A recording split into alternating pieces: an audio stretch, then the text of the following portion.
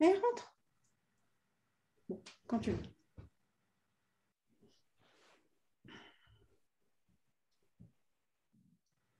Bon. On est en ligne. ok. Bonjour à tous. Euh, hop, le chat est passé. Merci d'être là. Alors, la journée Reboot a été super dense. Elle l'est encore. Euh, cette conférence suit celle sur les dire comme responsables et après il y aura le grand procès de la RSE. Mais pour l'heure, on va parler de RP, d'influence et de responsabilité. Euh, en gros, du lien invisible entre citoyens et médias, c'est-à-dire la com d'influence et ce que ça fait chez les citoyens et au cœur des médias. Alors, j'ai ramené un exemplaire d'Astrapi euh, auquel j'ai abonné mes enfants il y a quelques années. Euh, il date de 2018, mais j'étais super contente parce que là, il y a marqué euh, comment on fait l'actu, comment on fait un journal, etc. Et en ce temps-là, je me suis dit, chic, je vais pouvoir expliquer à mes enfants ce que fait maman, puisque c'est mon métier. comment on fait la une, on dit toute la vérité, tout ça et nulle trace des RP de l'influence. Euh, je vous avoue que j'étais un petit peu déçue. Alors, euh, c'est un peu de ça dont on va parler. Euh, je suis Céline Pufardi-Julie, j'ai 15 ans ou plus, mais je dis 15 ans parce que ça fait mieux, d'agence RP dans les pattes, mais une reprise d'études en Master 2 développement durable à Dauphine. Et je suis aujourd'hui directrice et associée de Look Sharp, qui est une agence RP, donc relations presse et relations publiques, dédiée aux acteurs de la transformation ou en transformation. Alors, on a fait nous-mêmes un gros travail sur nous-mêmes pour exercer notre métier euh, des relations de presse et des relations publiques de façon un peu plus responsable sur la forme et sur le fond. J'ai aussi écrit un livre avec Fabrice Bonifay, le président du Collège des directeurs du développement durable, qui est intervenu un peu plus tôt dans la journée et qui s'intitule le livre, page pub, euh, entreprise contributive, concilier monde des affaires et limites planétaires. Alors, je présente nos invités du jour. Euh, on a Béatrice Hérault, qui est journaliste indépendante spécialisée dans le développement, du développement, dans le développement durable. 12 euh, ans de Novétique, dont je recommande chaudement la lecture, en ligne en tout cas. tu y officier en tant que rédactrice en chef RSE et formatrice. Et vous pouvez aussi suivre son LinkedIn, qui est très pertinent sur nos sujets. Tu es diplômé de Sciences Po et du Centre de formation des journalistes. Et en toute déontologie, je précise qu'on se connaît parce que notre agence te pitch très régulièrement. Donc voilà, euh, comme on dit dans le jargon. Euh, et Thierry Liberte, euh, tu es enseignant-chercheur, grand expert français en communication des organisations et multi-auteur sur le sujet. Repage pub.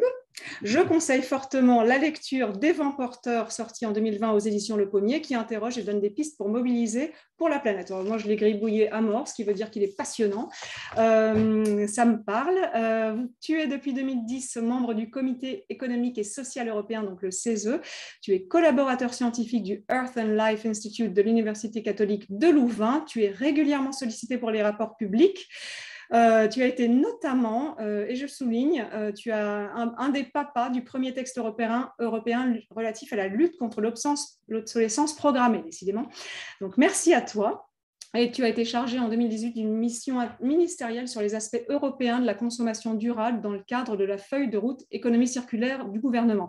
Donc je suis heureuse que vous ayez tous les deux accepté de vous, vous joindre à nous spontanément pour euh, parler euh, à tous ces étudiants qui ont envie de faire de la com un petit peu autrement. Donc, j'ai une petite intro du sujet et après, euh, on passe aux questions. Et après les questions, si vous voulez, comme ça va être riche, on passera aux questions de la salle. Donc, mon intro, c'est la suivante. Euh, je vous apprends rien. Il y a de fortes attentes du public quant à la qualité de l'information via les médias. On est en plein dans la période des assises internationales du journalisme. Le sixième baromètre des assises vient d'être publié il y a quelques jours. Il dresse un état des lieux de la perception de la couverture média et de l'urgence climatique ces 18 derniers mois. Il en ressort notamment que les Français ont de fortes attentes pour une information plus constructive, moins anxiogène, ça va être dur, mais ce que j'ai trouvé intéressant, c'est avec des paroles d'experts sur le changement climatique et la crise sanitaire aussi. Comme on le constate tous les jours avec le climat ou le Covid, c'est un peu pareil. Ceux qui sont présents et omniprésents sur les plateaux et cités dans les colonnes des journaux ce ne sont pas des experts, euh, souvent, malheureusement. Donc, on a en tant que cible, donc auditeur, lecteur, des messages. Euh, on, a l'impression fondée qu'on nous balade un petit peu, parfois qu'on nous ment sur les sujets climat. C'est grave, euh, y compris pour la démocratie et la santé de nos cerveaux. Euh, ça ne vous aura pas échappé non plus. On en a déjà parlé sur Reboot. Euh, on, a parlé d'une étude ce matin euh, publiée par Lancet Planetary Health qui vous aura peut-être pas échappé parce qu'elle est assez catastrophique. 10 000 jeunes dans le monde entier interrogés, pas dans 10 pays, pas interrogés sur leur éco-anxiété. c'est assez affligeant. deux tiers veulent plus faire d'enfants. Enfin voilà. Pourquoi? Bah Parce qu'on nous balade encore une fois. Donc c'est nourrit l'éco-anxiété et ça freine l'action, évidemment. Donc, euh, je voulais vous mettre dans l'ambiance. Euh, les jeunes interrogés tiennent leur gouvernement pour responsable. Euh, et en quoi ça nous concerne, nous, les communicants? Ben, Ça nous concerne parce qu'on a beaucoup parlé de la pub et on parle beaucoup de la pub et l'écoute va parler de la pub et a parlé de la pub. Mais nous, on va parler de la fabrique du consentement caché, c'est-à-dire hors pub, parce que depuis la nuit des temps, à l'échelle de notre modèle économique. Ça s'appelle l'influence. Les RP, le sponsorship, le brand urbanism, le mécénat, c'est pas nouveau. Les marques font passer leurs messages à travers tous ces canaux. Les messages se retrouvent dans les médias avec les résultats qu'on sait, y compris pour la démocratie. Donc, euh, euh, voilà, je ne vais pas vous citer les études sur la confiance des médias. Je voudrais directement passer euh, aux questions. Quelle est votre lecture à tous les deux sur ce soft lobbying omniprésent? Béatrice?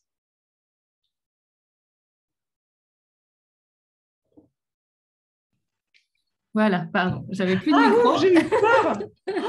je me suis dit, on a perdu Béatrice. j'avais plus de micro, donc euh, c'était un peu, euh, un peu ah, galère, mais merci de me l'avoir réactivé. Euh, donc, ma lecture du soft lobbying. Euh, donc, effectivement, moi, je trouve qu'il y, a beaucoup plus de, soft lobbying depuis, depuis quelques, années.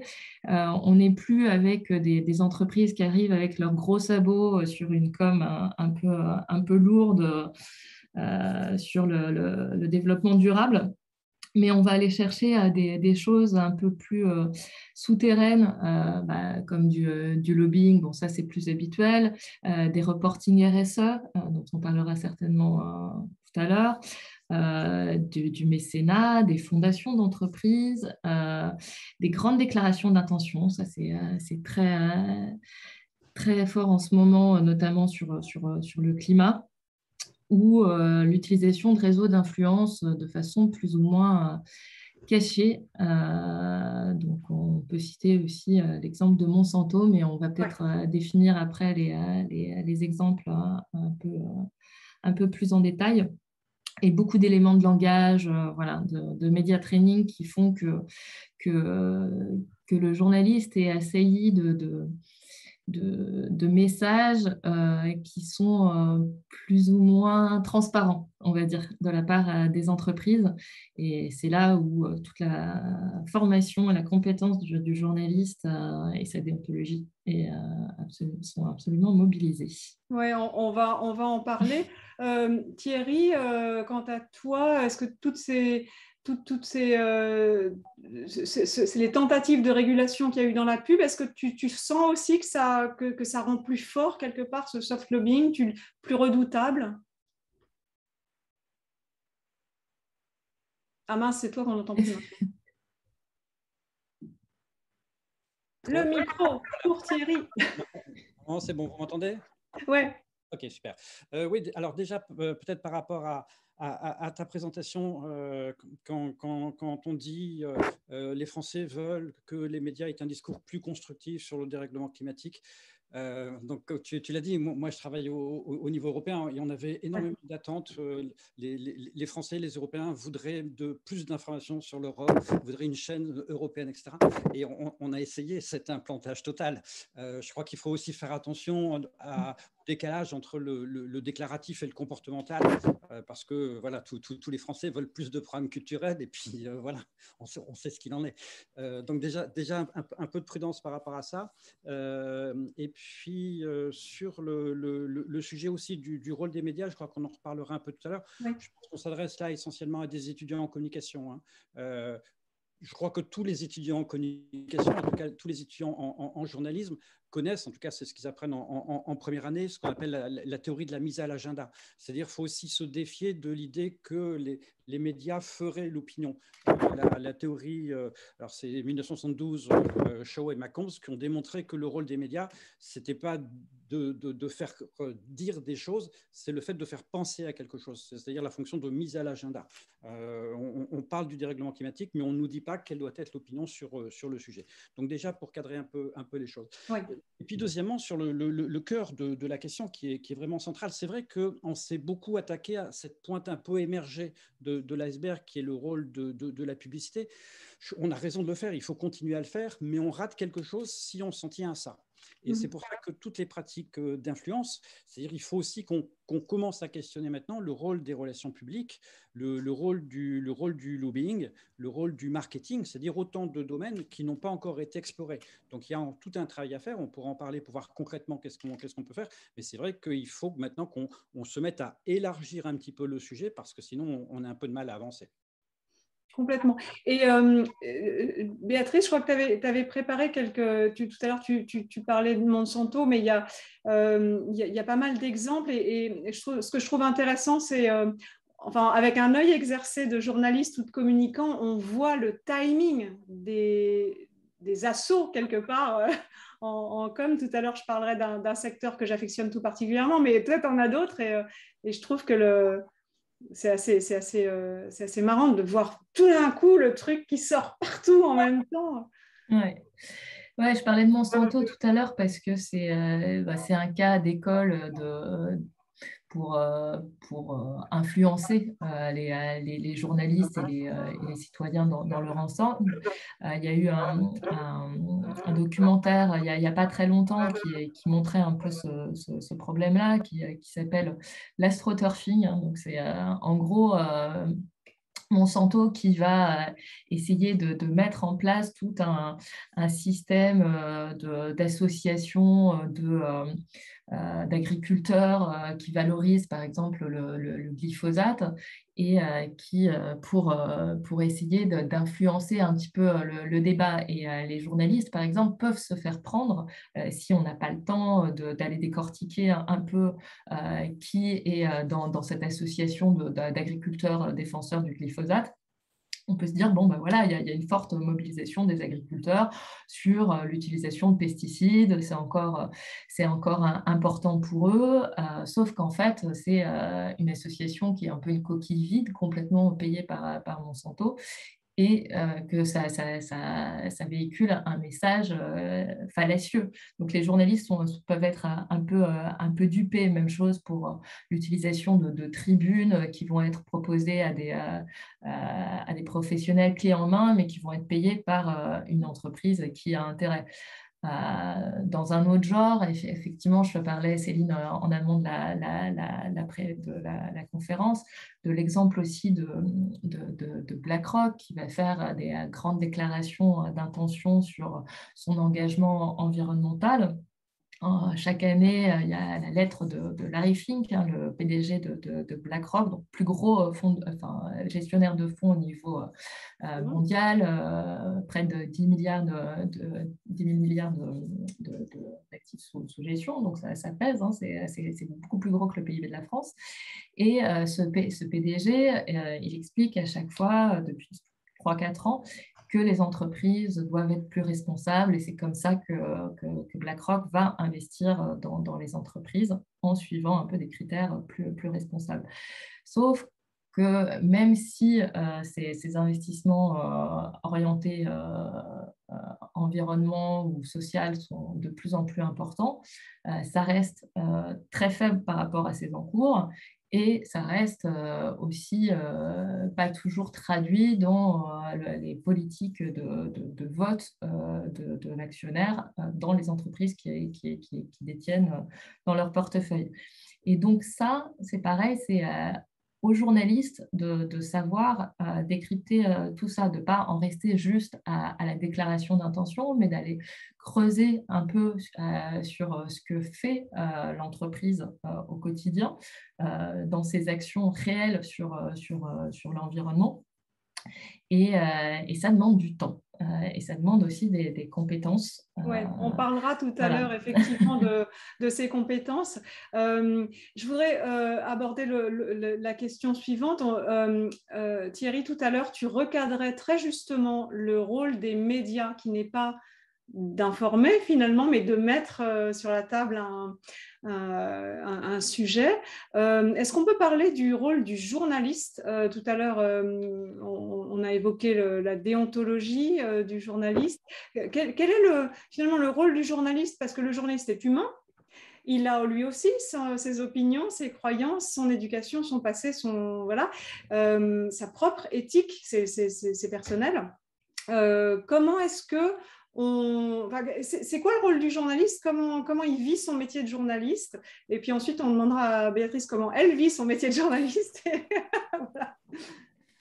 Oui, alors sur le, la, manière dont, les médias travaillent, la, grosse difficulté, c'est que les, médias sont de plus en plus compétitifs, concurrentiels et sont de plus en plus dans, dans l'urgence. Euh, et donc, sur des sujets de, fond, comme celui de, la transition écologique, c'est toujours un peu, difficile. Et, donc, le résultat, c'est quand on, regarde pour être très concret, euh, comment les médias euh, traitent du, sujet du, dérèglement climatique, ce qu'on voit, c'est qu'on est vraiment dans le règne de, l'émotion, de, l'affect avec quasiment toujours les mêmes images, que ce soit pour les causes et pour les conséquences. C'est-à-dire pour les causes, on va avoir des, des, embouteillages, de, beaucoup de voitures, des, des, centrales thermiques, charbon. Et puis dans, dans, les conséquences, la figure qui revient le plus, c'est l'ours polaire sur son petit morceau de banquise. Euh, donc on a comme ça toujours un peu de, cliché qui, intervient. Dans, les difficultés qui sont importantes, c'est que la manière dont, les médias traitent de ce sujet-là, ça, passe un peu au-dessus de la tête des, citoyens. C'est-à-dire que ce sont des décisions qui sont prises, euh, la responsabilité vient du monde des entreprises ou des pouvoirs publics, et on est souvent dans, alors on va le voir là avec la, prochaine COP qui, qui va arriver, euh, c'est-à-dire ce sont des décisions de, de grands décideurs économiques ou ou, politique. Et donc, le, sujet est un peu difficile pour essayer de dire aux gens, voilà, c'est à vous de, vous mobiliser, parce que le traitement médiatique met l'accent sur des confrontations entre grandes puissances et entre grands, grands décideurs politiques. Donc, ce qui fait que le, les, les, solutions un peu individuelles, collectives, que chacun peut mettre en œuvre, passent un peu, un peu à l'as quand les médias traitent de ce sujet-là. C'est une des grandes difficultés de la manière dont on doit essayer de redéfinir ce que peut être un discours médiatique sur ce sujet. Mais c'est drôle parce que en fait, le journaliste, parce que ma question c'était euh, quel est le rôle du journaliste? Et le journaliste, il est humain. Donc quelque part, est-ce qu'en tant qu'humain, lui-même, il se dit euh, finalement, c'est pas à moi de gérer, donc il n'a pas la tendance à mettre. Je Enfin, je sais pas, qu'est-ce que tu en penses, Béatrice, toi qui es journaliste? Et qu'est-ce que tu constates Et humaine.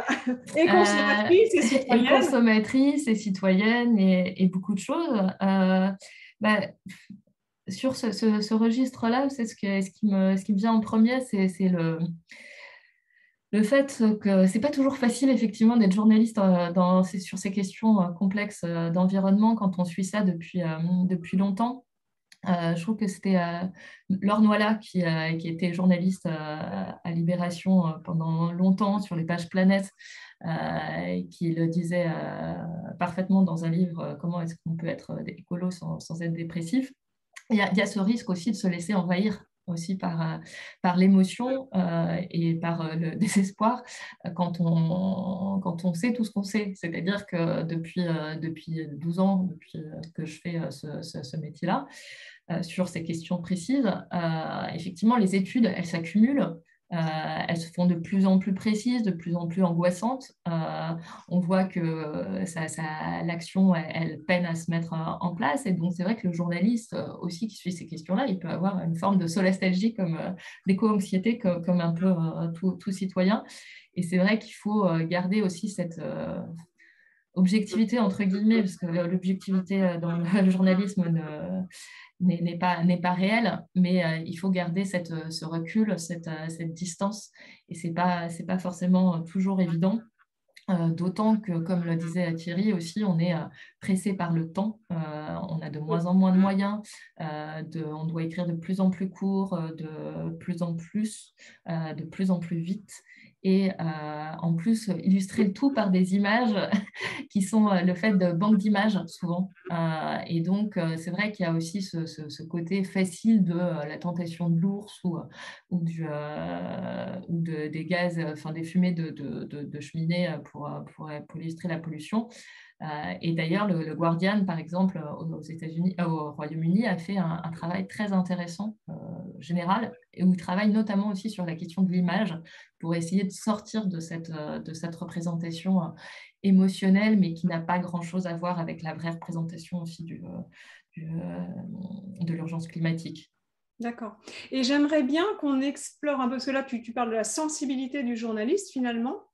Euh, il y en a qui se blindent très bien aussi d'ailleurs, hein, je pense, euh, au vu du traitement des sujets. Mais euh, est-ce que tu peux parler, et, Thierry aussi bien sûr, du lien entre nourrissage RP et investigation? Parce que quand tu reçois une info, parce que je ne sais pas quel est le pourcentage d'infos que digère un journaliste qui vient de sa recherche par rapport à ce qu'on lui balance, et comment est-ce qu'il fait le, le, le tri et comment est-ce qu'il se dit, bon, ça c'est mon opinion, mais je vais le mettre de côté Est-ce que les confs de rédac, c'est fait pour ça?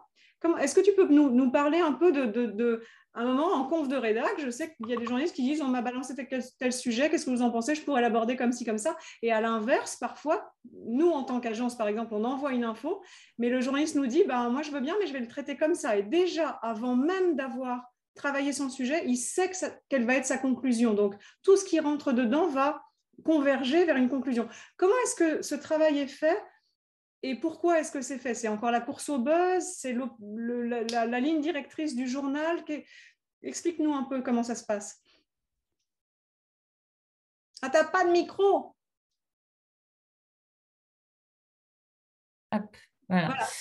On me le coupe régulièrement. Euh, euh, alors, euh, déjà, premier point, euh, c'est vrai que sur ces sujets-là, quand j'ai commencé 2005-2008, l'info, on allait la chercher. Hein. Il n'y avait pas de communiqué, les entreprises ne voulaient pas communiquer dessus, il n'y avait rien. Aujourd'hui, on est envahi de communiqués de presse d'appels euh, d'entreprises qui veulent absolument communiquer sur ce sujet qui est devenu euh, vraiment stratégique. Donc là, il y a vraiment un travail de tri qui n'existait pas euh, auparavant. Avant, on allait chercher l'info, maintenant, il faut plus la trier. Comment ça se passe en conférence de rédaction? Bah, donc, Avant la conférence de rédaction, on la prépare quand même. Donc, on a bah, l'actualité. Hein, euh, l'actualité, euh, ça peut être, bah, je sais pas, des, inondations, des catastrophes naturelles. on n'a pas de prise là-dessus. ça peut être des, des communiqués d'entreprise ou des, je sais pas, un rachat d'entreprise ou une entreprise qui va lancer un produit Euh, ça peut être euh, des rapports d'ONG, ça peut être euh, des, des, reportages sur, sur le terrain, des, des conversations entre amis de plus en plus aussi une étude scrupuleuse des réseaux sociaux, ça c'est un autre problème. donc voilà, c'est assez large. Et quand on arrive en conférence de rédaction, on a essayé de digérer un peu tout ça, de, on essaye de présenter un sujet déjà un peu, euh, un peu anglais si, si, on a les idées claires, où on se dit, bon, ben voilà, euh, le rapport du GIEC est tombé ce matin, euh, c'est intéressant, mais tout le monde va le faire on espère. Euh, mais comment est-ce que nous, on va apporter une valeur ajoutée par rapport à ça? Euh, Qu'est-ce que va être notre angle par rapport à notre ligne éditoriale? Quels moyens euh, avoir pour le faire Sur quelle temporalité Est-ce qu'il faut le sortir tout de suite Est-ce qu'on a une semaine pour le faire Qui est-ce qu'on va interroger Etc. Donc ça, c'est vraiment des discussions qui sont euh, réalisé en conférence de rédaction. Euh, quelquefois, on arrive avec notre, euh, notre idée et puis le rédacteur en chef ou les, autres journalistes vont dire non, mais c'est n'importe quoi. moi, j'ai vu telle, telle autre chose, ou, c'est pas n'importe quoi, mais je peux t'alimenter par d'autres études ou, d'autres faits.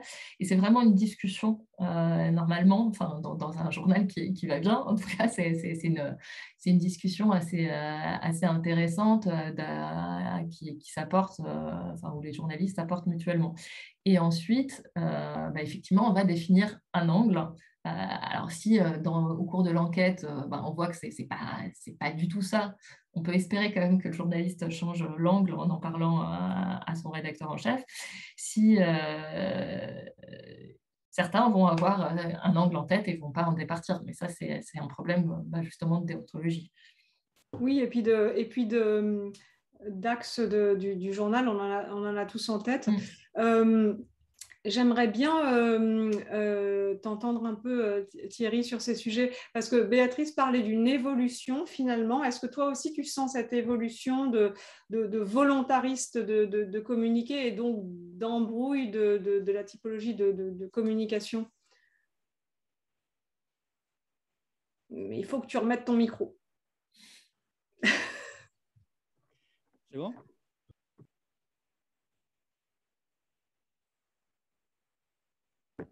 Voilà.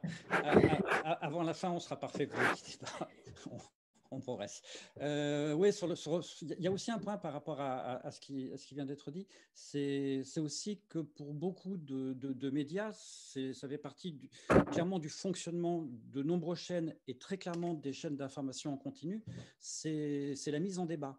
Et, donc, euh, à chaque fois que tu vas voir, par exemple, là on l'a vu avec le euh, début août, la, la publication du sixième rapport du groupe 1 du, du, GIEC. Euh, je connais beaucoup de climatologues qui ont été appelés pour participer à, des, à, des, débats euh, et en face, on, leur, on leur proposait des contradicteurs.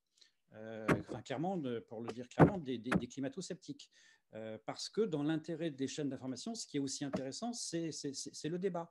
Ce qu'on est nombreux à conseiller aux climatologues, c'est qu'il faut juste arrêter, parce que, parce que ça légitime le fait qu'il puisse y avoir un, doute scientifique. Or, il peut y avoir un, doute ou des discussions médiatiques, mais il n'y a plus de doute euh, scientifique. Enfin, 99,80% des climatologues, ceux qui sont vraiment climatologues, euh, il n'y a, aucun doute sur le, sujet. Donc, ça fait partie des difficultés aussi dans, les médias, parce que le, débat est un peu intrinsèque, consubstantiel au, traitement médiatique du sujet. Et je dire, il est encore pire sur la sphère digitale, parce que sur la sphère digitale, elle est totalement délaissée par, euh, par, les, climatologues, par les scientifiques du, climat, mais il y a une forte emprise euh, justement du, débat derrière et, des discussions qui peuvent, euh, qui peuvent avoir lieu. Donc ça fait partie des choses qui sont un peu, compliquées parce que pour beaucoup de, scientifiques, il y a toujours cette interrogation de faut-il y aller ou, est-ce qu'on doit hésiter? Et puis il, y a, aussi un, prisme qui n'est pas très, sain à mon sens pour beaucoup de médias, c'est de considérer que dans tous les cas, sur un plateau, c'est toujours bien d'avoir un expert.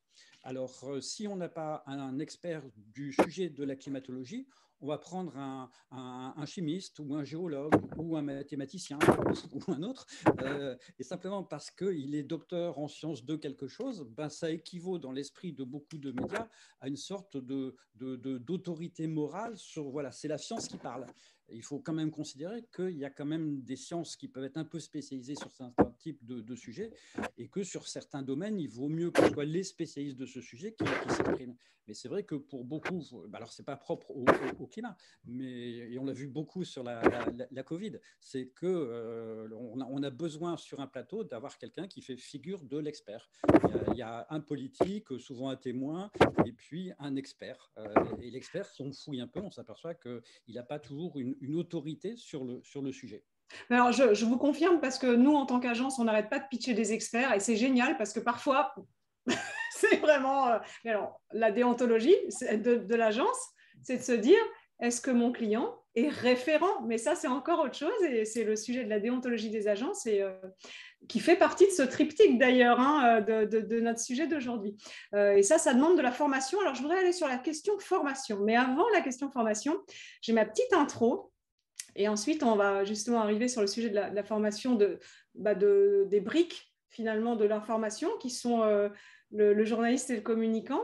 Donc, je voulais l'aborder par un sujet un peu concret euh, qui est celui de l'aviation civile. On a parlé de Monsanto tout à l'heure, c'est un autre euh, exemple qu'on aime bien, mais l'aviation civile a été très chahutée d'un point de vue franco-français, là, Thierry, je, suis moins européenne là, sur ce sujet, mais quand même, bon, il y a eu Notre-Dame-des-Landes, il y a eu le flag shame, il y a eu la Convention citoyenne pour le climat, il y a eu l'arrêt total des activités pour cause de Covid des, aéroports, des, compagnies d'aviation, etc. Donc ça, c'était des mauvaises nouvelles pour des entreprises qu'on aime d'amour comme Air France.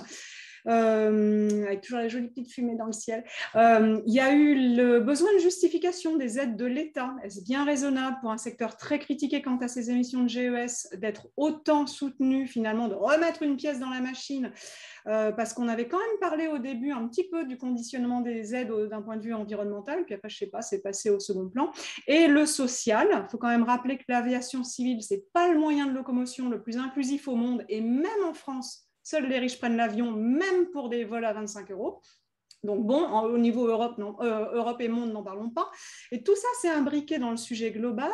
Euh, il y a des points très techniques comme ceux de la non-taxation du fuel, le sujet du low cost, le sujet euh, de la compétitivité nationale, européenne, si on taxe aux frontières, gna gna gna, l'emploi, évidemment, le fameux chantage à l'emploi qui, qui marche toujours sur ces sujets de touche pas, pas de réglementation, sinon emploi. voilà, ça, ça marche toujours. Tout ça, c'est interdépendant, c'est très délicat surtout quand on sait que l'aviation civile, c'est un des secteurs les plus difficiles à décarboner, sans surprise, et c'est ça que je trouve génial dans nos métiers, c'est quand on a les lunettes pour voir à travers tout le, baratin, on voit que là, le lobbying est à fond les ballons.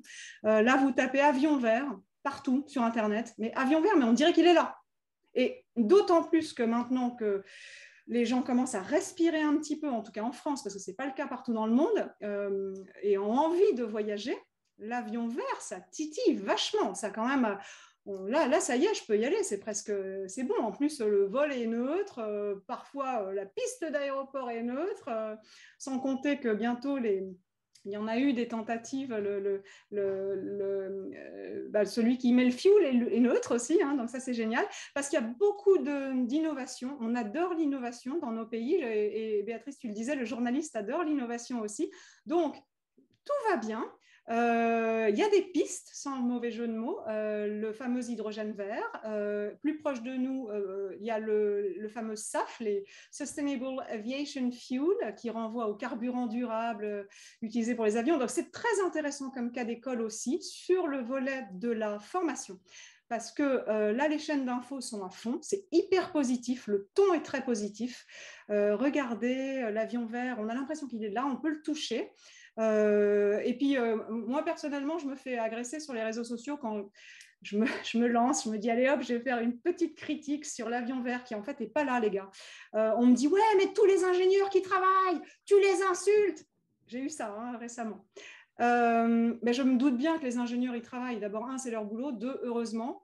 franchement. Mais mon point, c'est pas de critiquer l'ingénieur qui travaille, vraiment, je pense, et ni les gens qui bossent dans cette industrie. Le point, c'est la presse n'a aucune notion des, ordres de grandeur. Il ne resitue jamais, alors je dis la presse, pardon Béatrice, certains médias, il ne resitue jamais euh, le contexte de l'aviation civile, de son poids, de son poids par rapport aux autres secteurs, de son poids sociétal.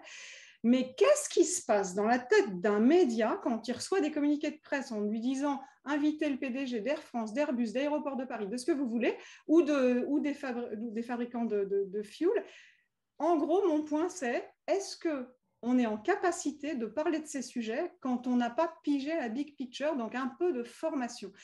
Alors, Côté agence, je vais faire mea culpa, on est super mal formé, on est d'accord, parce que c'est du, volontariste. Côté presse, je sais qu'il y a des, médias qui s'y mettent carrément, Ouest France, TF1, Radio France, euh, euh, qui, vraiment font la fraise du climat, etc. Mais parlez-nous un peu tous les deux de la nécessité de la formation, où ça en est. Euh, voilà. Euh, juste pour répondre sur, euh, sur l'aviation verte, euh, je pense qu'il y a quand même plusieurs points qui expliquent le, fait que, qu'on parle de, l'aviation verte aussi, aussi abondamment. C'est parce qu'effectivement, il y a ce, côté fleuron national. c'est, c'est important, c'est des, boîtes qui ont, qui pignon sur rue, qu'on, aime, qui, qui créent de l'emploi. C'est effectivement le côté solutionnisme technologique, on, enfin, on va pouvoir euh, continuer à, faire un peu comme avant, euh, sans trop euh, changer nos, habitudes de, consommation ou de, nos modes de vie. Et ça, vraiment, pour Novetic, par exemple, quand on avait fait une, infographie sur, sur bah, ce que les 1 degré 5 de réchauffement, enfin la limitation à 1 degré 5 de réchauffement devait amener comme changement de, comportement, on s'est fait mais, lyncher. donc il y, a ce côté-là aussi. Et puis quand on voit que bah, effectivement les, Français veulent un journalisme de, solution, un journalisme constructif, là on se dit bon, on a une solution. Bon, en fait, pas tant que ça, effectivement, parce qu'il y a les ordres de grandeur à connaître. Et effectivement, par exemple, le transport, c'est l'un des principaux postes d'émissions de gaz à effet de serre euh, dans le monde et l'avion euh, parmi les euh, plus, importants, évidemment. Donc ça, effectivement, il faut le rappeler, mais il faut aussi le savoir. Alors, on peut faire des fresques du climat qui sont super, hein, je le conseille à, à, tout le monde, mais ce n'est pas suffisant. il faut avoir effectivement une, une formation sur, sur, sur les enjeux du écologiques euh, et sociaux. Euh, dès la formation, pour l'instant, les journalistes, ils ne sont pas formés, mais comme, l'ensemble des professions, parce que le journaliste, en fait, comment il se forme? D'abord, il fait une formation euh, classique, soit d'économie, de, politique, souvent littéraire et souvent Sciences Po, c'est vrai. Donc, c'est très généraliste. Donc, voilà, là, maintenant, ça, change, je pense, comme dans, toutes les formations, mais avant, on n'avait pas cette, ces, questions-là qui étaient abordées. Et ensuite, on va avoir deux ans ou un an de, formation aux techniques journalistiques. Mais la formation, euh, voilà, on se l'a fait avant, il n'y a pas de formation spécifique sur euh, journalisme et euh, climat, journalisme et économie ou, ce genre de choses. Ce que j'ai vu, mais c'est pour l'année 2022, c'est une formation médias et climat à l'Université de Saclay avec le SJ Lille, la partie scientifique. Mais, euh, mais voilà, c'est aux journalistes de se, de se former, euh, de lire, euh, de, et ce n'est pas encore intégré dans les formations. D'ailleurs, c'est tout le combat du, du, mouvement pour un réveil écologique, c'est de faire rentrer ces formations, tous les métiers, tu le disais bien, tous les métiers. Et dans la formation continue, quand on est journaliste, généralement, on a des formations sur notamment les nouvelles techniques. Enfin, les nouvelles techniques, ça peut être sur les réseaux sociaux, sur les, les, différents médias, parce que le, le journaliste est devenu un couteau suisse.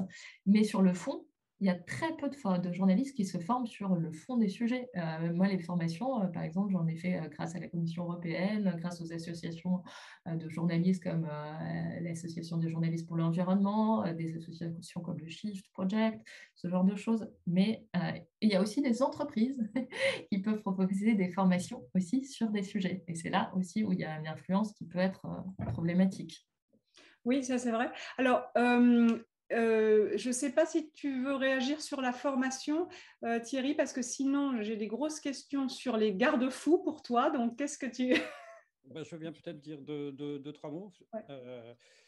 Euh, d'abord, pour dire que le, sujet que tu as, que tu as cité du, transport aérien, il n'est il est vraiment pas spécifique sur les, les dénominations.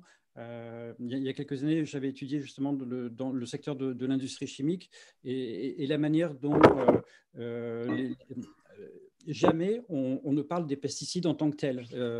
on, parlera des produits phytosanitaires. Et, l'organe qui a en charge ça, la fédération, c'est euh, euh, l'Union interprofessionnelle pour la protection des plantes. Euh, J'adore. Ça, c'est génial. C'est une trouvaille. Effectivement, c'est formidable. Mais c'est comme, le, comme le chasseur gardien de la biodiversité. C'est aussi beau. et, dans les trucs, moi, qui m'avaient fait hurler il y, a quelques, il y a quelques années, on en parle moins maintenant, mais c'était la fracturation hydraulique, où les gens qui s'en occupaient essayaient de, de, de, parler de brumisation de la roche. Euh, et, au, niveau européen où, je travaille, euh, le, mot qui, est, qui, a essayé, mais ça n'a pas marché, pour remplacer les perturbateurs endocriniens, c'était les, modulateurs endocriniens, qui, qui, fait moins, moins perturbation. Donc on, voit que voilà tout. Donc ça, c'est les éléments de langage, les fameux, les, fameux éléments de langage. Euh, voilà. C'est-à-dire que l'imagination des personnes de relations publiques est quand même assez considérable. En limite. Euh, après, ravi. après, alors, il faut être un, peu prudent, euh, mais il y a aussi du, non-dit. Euh, quand on parle de, du, rôle du, journalisme parce que la plupart des grands médias français, ils sont quand même aux, mains de quelques grandes puissances économiques euh, et, que, euh, et que sur des sujets comme euh, le, transport, qui est un des plus grands annonceurs français, il y a peut-être une certaine prudence qui, qui, s'opère, même si on a toujours des difficultés à, tracer. ensuite, troisièmement, tu as, tu as cité toi-même au début dans ton, ton introduction des, bonnes pratiques qui commencent à, émerger dans, le milieu de la presse. Et effectivement, ce qu'a ce fait The, Guardian, c'est assez remarquable.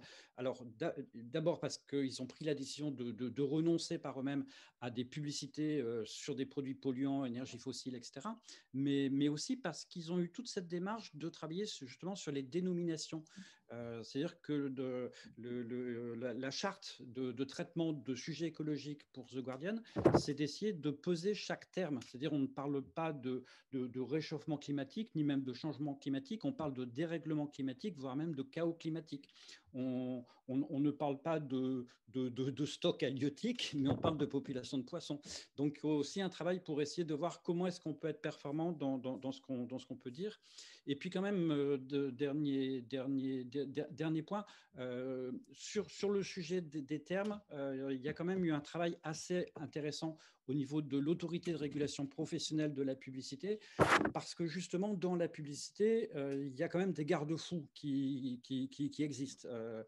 sur le sujet de la neutralité carbone, on ne peut pas parler de, d'un produit qui protège l'environnement, mais il doit contribuer à l'environnement. Un produit ne peut pas être écologique, il doit contribuer à. Donc il y a, quand même un certain nombre d'avancées qui ont été faites. Il faudrait, à mon sens, que ces travaux qui ont été euh, réalisés puissent maintenant aller sur d'autres domaines, clairement sur le, marketing, euh, parce que parce qu'il y a un contrôle qui est assez important dans le domaine de la publicité, il est totalement inexistant dans le domaine du marketing. Donc. Euh, je te remercie, superbe superbe intro, parce qu'il nous reste un d'heure et je voudrais vraiment qu'on ait une petite partie de ce temps pour parler des garde-fous.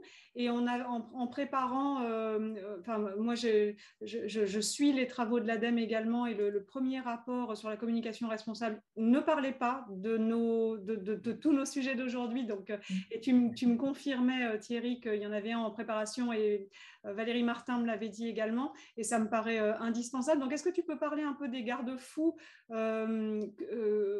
sur, au-delà de l'autorégulation, parce que, les marques euh, sont promptes à dire euh, laissez-nous faire, on va, on va se réguler.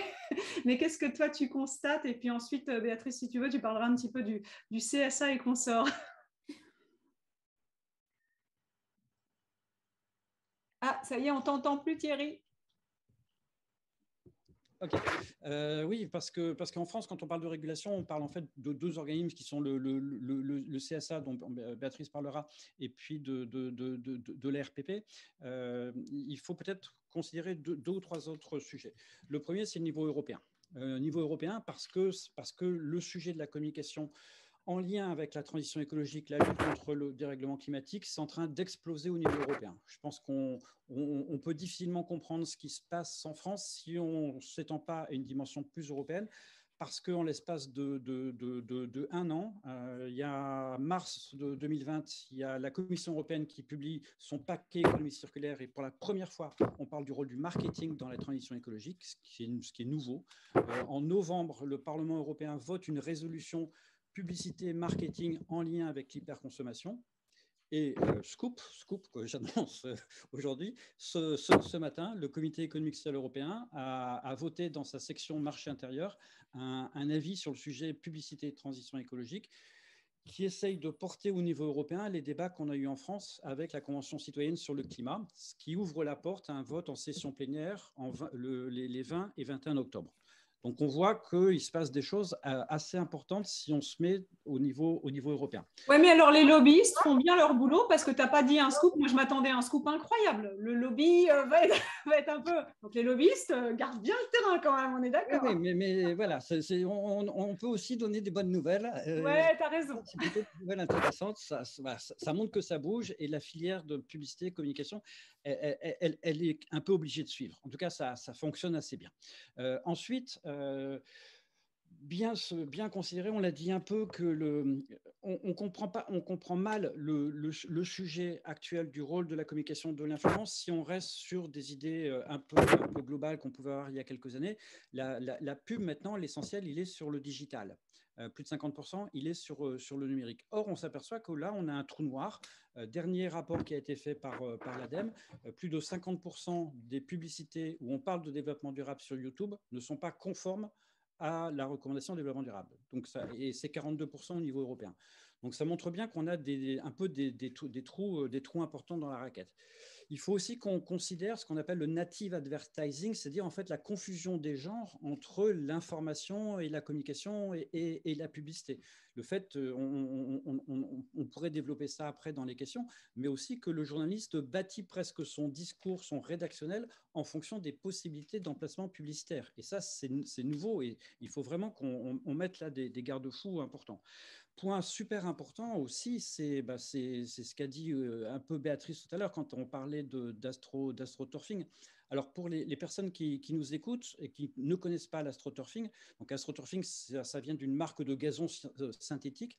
Et euh, le, 24 novembre, avec l'Académie des controverses, qui est un centre d'échange entre chercheurs, euh, vous tapez Académie des controverses de la communication sensible, le 24, on fait un événement justement sur le thème de l'astroturfing, où tous les chercheurs francophones qui travaillent sur le sujet vont pouvoir présenter les résultats de, de, de leurs recherches. Donc on voit que ça fait partie des, phénomènes euh, importants et, on va essayer de détailler justement tout ce qu'on appelle le black PR, c'est-à-dire euh, un peu le côté euh, obscur des, des, relations, des relations publiques.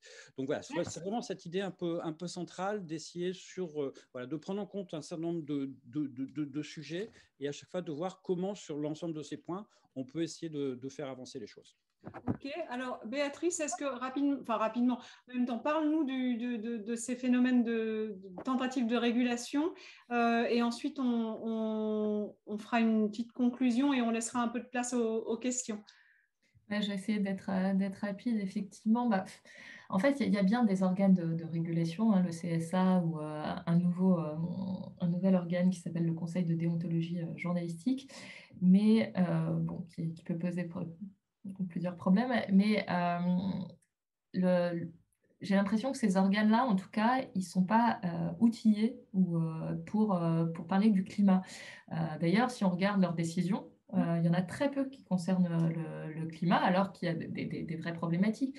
Sur le, sur CNews, par exemple, le, le CSA a été saisi à plusieurs reprises, il a rendu des avis mais euh, quasiment jamais sur le, sur le climat. Alors qu'on euh, a deux euh, exemples qui, qui, ont quand même fait parler d'eux.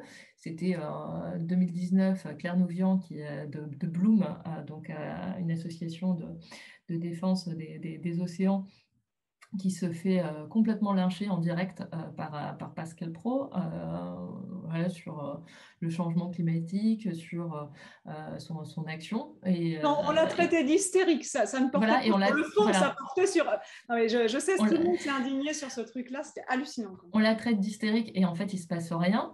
Et euh, bah, plus récemment, cet été, euh, on reparle du, du, euh, du rapport du, du, GIEC chez, sur CNews, dans la rubrique, dans l'émission de Pascal Pro. On invite un climato-sceptique, hein, parce qu'il faut faire un débat, alors comme disait Thierry tout à l'heure, il n'y a pas débat, il y a consensus. donc, on, on, on, on, crée un faux, faux débat.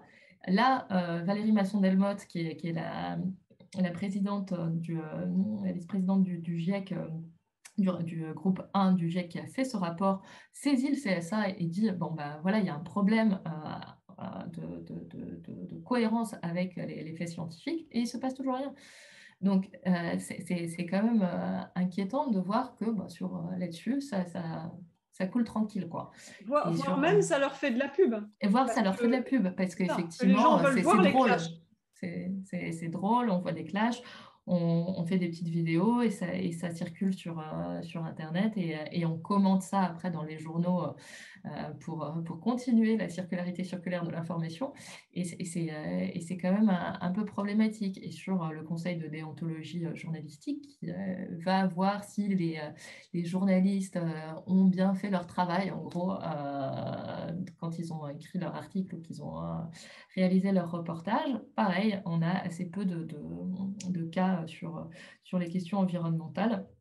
Euh, si ce n'est sur, euh, sur les algues vertes. Ça, ça peut être intéressant parce que c'est un cas où euh, Valeurs Actuelles est pointé du doigt, en gros, pour ne pas avoir interviewé les, des protagonistes qui mettaient en cause dans une, enquête sur qu'il appelle ces écolos complotistes ou militants, ou je ne sais plus quel est exactement le, le, terme. Mais en gros, voilà, on met des gens en cause, mais on ne les euh, appelle pas pour euh, donner leur point de vue dans un, dans un, dans un article.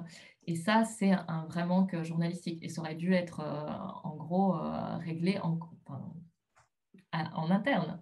C'est-à-dire que un tel article, en gros, ne devrait pas passer les fourches codines de la rédaction en chef. Mais alors, là, là, tu parles d'une accusation sur un manque de diversité. Donc, techniquement, c'est un mauvais article quand il n'y a pas la diversité des points de vue. Moi, ce que je constate surtout, c'est des jeux sur les sophismes et sur les argumentations. Et comme disait Thierry, ça devrait même plus faire débat. Et pourtant, le fait de continuer à faire débat fait, donne l'impression qu'il y a encore à débattre. Donc, c'est encore plus fin que ça. Alors, il paraît qu'on. C'est pas, pas, juste, c'est pas un, un, mauvais article parce qu'il n'y a pas de sources diversifiées, mais c'est parce qu'on n'a pas appelé les ah euh, les, les, personnes mises en cause. Et ça, c'est problématique. Ah bah oui, c'est juste un mauvais boulot. Euh, bon, De toute façon, on sait que dans cette source-là, on n'a pas forcément de la bonne info non plus. Euh, alors, comme il paraît qu'on n'a pas de questions, c'est quand même dingue, c'est génial parce que moi, il m'en reste une.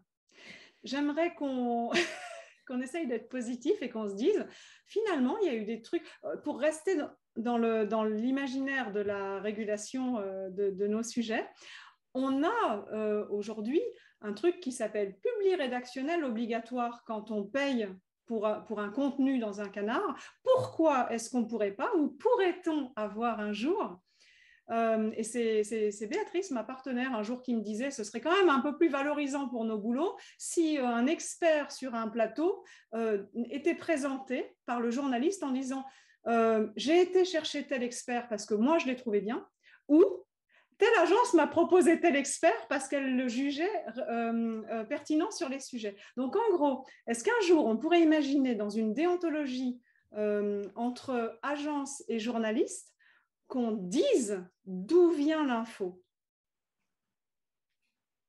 Ah, le silence total.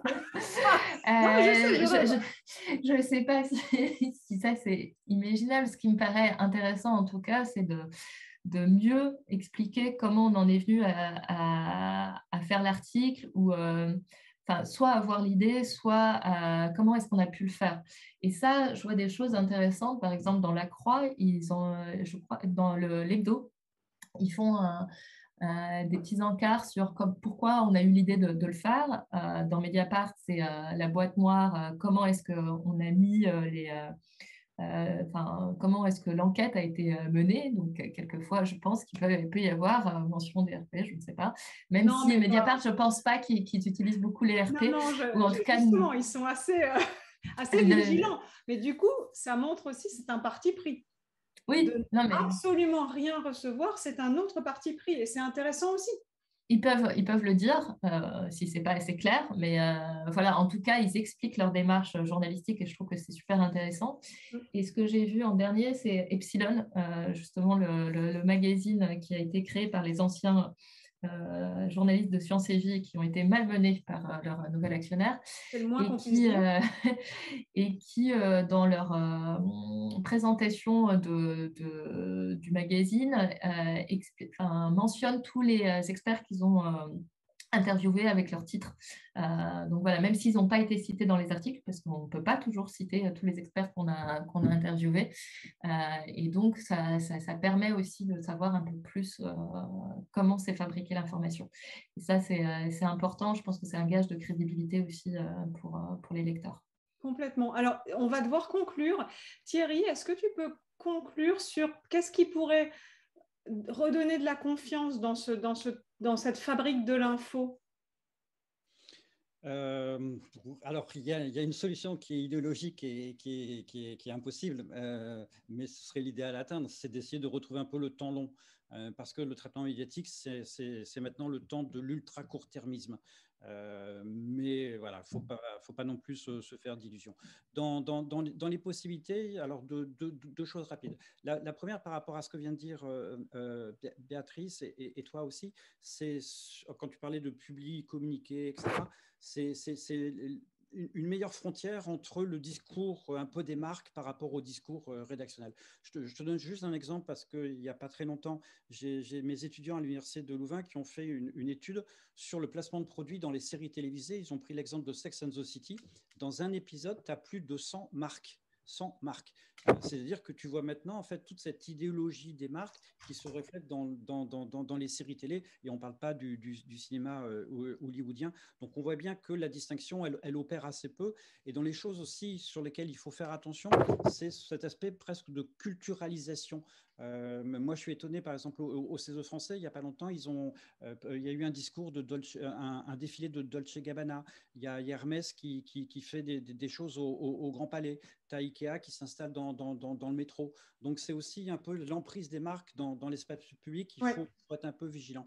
Et puis dans les bonnes nouvelles, il y a, il y a des travaux qui sont faits. Je pense que c'est aussi beaucoup sur la réputation des, des, des, entreprises que ça peut se construire avec un discours un peu, un peu critique. Je pense par exemple au, formidable travail que fait le, groupe Sleeping Giant, euh, justement pour essayer d'informer sur euh, des marques qui contrôlent mal, euh, ou en tout cas peut-être pas assez leur, leur, leur, leur placement de, publicité. Et pour beaucoup, moi j'ai l'impression que ça marche plutôt assez bien. Donc il y a quand même on peut être un peu optimiste par rapport à ces mouvements qui sont en train d'être générés, parce que beaucoup comprennent que si on veut faire bouger les choses, c'est peut-être aussi en, travaillant sur la réputation des marques, parce que c'est comme ça qu'elles prennent conscience qu'elles doivent agir un, un peu davantage. D'accord. Non, mais c'est. Ah, on vous entend plus.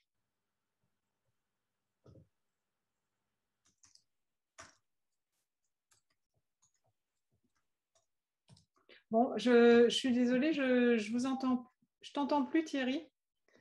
Euh, euh, mais peut-être qu'on peut qu'on est coupé tout simplement. Euh, et c'est l'heure, donc je ne sais pas trop. Mais si on a. voilà, il y avait. ah, il y a une question qui arrive. Il y a une question qui arrive, donc je la lis en même temps que nous.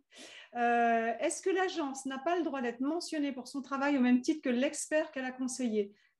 Il en va également de sa crédibilité. C'est une question qui peut se poser. Alors moi, je ne peux qu'être d'accord, hein, parce que franchement, non, mais euh, oui, ça c'est la, transparence de la chaîne de l'info. Je crois que c'est ça. On n'a pas assez de signes hein, pour, euh, pour, pour, tout, euh, pour tout mentionner. Non, je, rigole, mais il y a aussi cette, cette injonction à écrire de plus en plus court ou à, faire des choses de plus en plus courtes. Donc déjà, on a à peine le temps quelquefois de, mentionner euh, les, titres qui sont de plus en plus à rallonge des experts. Alors si en plus il faut citer comment est-ce que euh, on l'a on l'a eu, ça, ça, va être, ça va être compliqué. Mais je pense qu'il y a vraiment cette question des, des, des coulisses qui, peuvent être euh, beaucoup plus détaillées. Mais c'est une bonne question parce que, regarde, on exige de la transparence aujourd'hui dans le monde de la finance. Regarde le travail mmh. d'Eva Sadoun. On exige de la transparence dans la bouffe. Regarde Yuka. Pourquoi on n'exigerait pas de la transparence dans l'information? Donc, c'est une bonne question. Je pense, euh, qu'il faut, il faut de la transparence. Ce sera, c'est un enfin, c'est le gage de la confiance euh, qui est perdu euh, entre les journalistes et, et les citoyens. Eh ben, c'était exactement là où je voulais arriver, des conditions de, transparence. Il me reste à vous remercier vraiment euh, tous les deux d'être, de vous être prêtés euh, au jeu et, je suis ravie et j'espère que ça a intéressé les étudiants et les non-étudiants parce que c'était une conférence ouverte et gratuite pour tout le monde qui sera qu'on pourra retrouver toutes les vidéos, on peut les retrouver, etc. Mais je voudrais aussi remercier euh, toute l'équipe Reboot qui bosse depuis des mois euh, bénévolement pour ça, et en particulier Vanon, Florentin et Samuel de l'Université Bordeaux-Montaigne qui ont modéré ça de main de maître. Donc voilà, je vous dis merci